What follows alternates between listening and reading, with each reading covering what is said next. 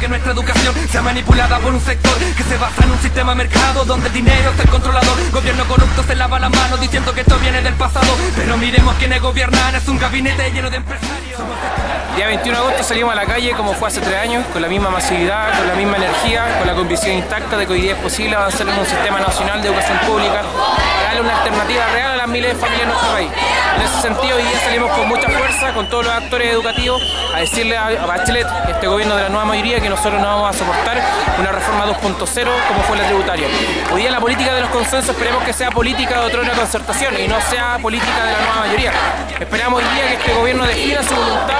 real de avanzar con los movimientos sociales, con los estudiantes, con los trabajadores de la educación y con los profesores, con la ciudadanía en general, no con el empresariado, no con sostenedores, no con el empresario, hoy día de una u otra forma engaña, tergiversa encuestas como la CEP, usa también el puente que le da la democracia cristiana. Los sectores conservadores de la nueva mayoría acá tienen una gran responsabilidad, que tiene que ver con que día está entendiendo un espacio real para que la derecha, esa derecha ultra, se, re- se rearticule e impida eh, y se oponga finalmente a cualquier cambio social y sobre todo hoy día transformar la educación de mercado en una educación que sea bajo una concepción de derecho social.